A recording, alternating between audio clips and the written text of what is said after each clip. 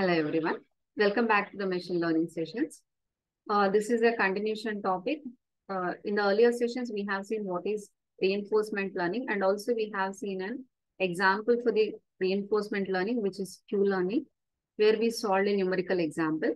So now we are in a state to compare our reinforcement learning with the other approximation tasks, what we have done in the earlier units or earlier chapters.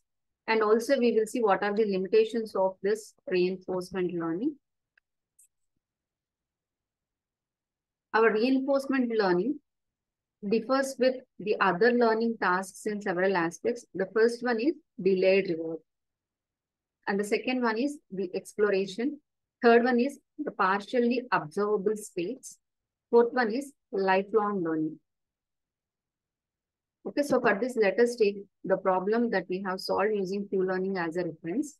Okay, so with the help of this, let us try to understand these problems.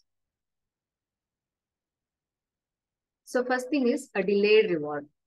Okay, so the task of the agent is to learn a target function n that maps from the current state to an optimal action. So here we will be stating the problem as a is equals to n of s. But whereas if you see the other learning tasks in the earlier chapters, where we have formulated our target function always s comma so x comma t of x. So or uh, x comma y of x. That is the formulation that we have given, right?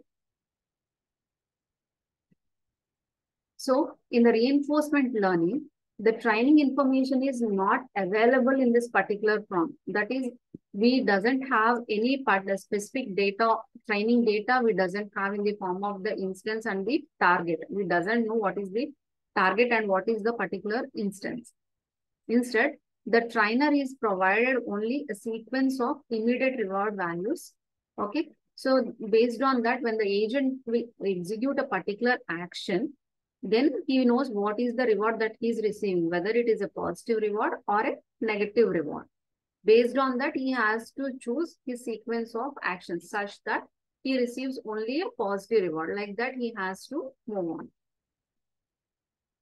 But this problem is not there in the earlier cases. So because of this, the agent faces the problem of temporal credit assignment. What is the meaning of this is determining which of the actions in its sequence are to be credited with producing the eventual rewards. So this you can compare with the dynamic programming. So where when you select one particular uh, step and the next one, whatever you are choosing, it should be optimal to the previous state what you have selected. Here also, whatever action you are selecting, that should lead to an optimal one in the next state also. So like that, the agent has to select. This is called as the temporal credit assignment problem. Next one is exploration.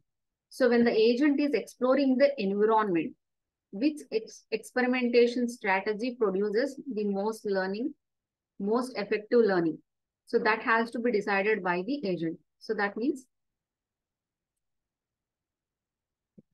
whether he has to use unknown state and actions. Okay, so first of all, which one he has to explore? Unknown state and unknown action or already he might have explored explored something else, right? Some state and some action he has done. So whether he has to continue with that. So that, that will be always a dilemma to the agent. So this is a problem of exploration. Even this we faced in the Q learning also, right? When we have solved, we doesn't know where to start with. Okay, so randomly we have started with some state. Okay, so that state may not help you to continue with the further states. So then again, we randomly pick some other and iteratively when you are performing number of steps, then eventually the table got updated. It doesn't happen in a single step, right? And then partially observable states. So although it is convenient to assume that agent sensor can perceive the entire state of the environment, usually, so the agent sensors are very powerful. It can sense everything at a time. But in some other cases, it may not be possible. So we will take only, all the time we'll assume that only partial information is available. Because it is a machine, we cannot expect 100% accuracy. For example, when a robot with a forward pointing camera cannot see what is behind it. Okay. Since the robot is capable of forward pointing, so only it can see what is before it, but it cannot see what is behind it. So that is the problem. Only partial information can be pursued by the agent. So in such cases, what to do? The previous observation, previous means in using the back camera also some other uh, instances might have been captured. So using that in connection to the forward pointing camera, everything has to be put together and then analyze and then choose the action specifically to improve the observability of the environment. So only we are saying it as a partially observable state. And the next problem is a lifelong learning. This there is no end to this reinforcement learning. It's a lifelong learning problem. Okay. So this robot learning often requires that robot will learn several related tasks within the same environment using same sensors. But from time to time, it will update its policy. It will learn new and new things. It will try to become more and more efficient. For example, a mobile robot may need to learn how to dock on its battery charger, how to navigate through narrow corridors. Initially, it might not face this problem. Narrow corridors, it might have not. Okay, it has only open spaces and it has moved very freely and it has learned how to move there. But later on, it faced with the narrow corridors. Then it has to learn that also. Then how to pick up output from laser printers. So step by step, it has to learn. And this is the lifelong learning whenever the equipment changes again, it has to adopt to that and it has to learn.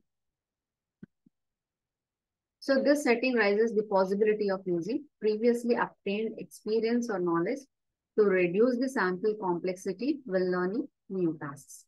Okay. So this is how our reinforcement learning differs from the other learning tasks. Okay. So hope you enjoyed the video. If you have any um, difficulty, please let me know in the comment section. If you find the videos informative and useful, please do share it with all those who are in need of this. Thank you.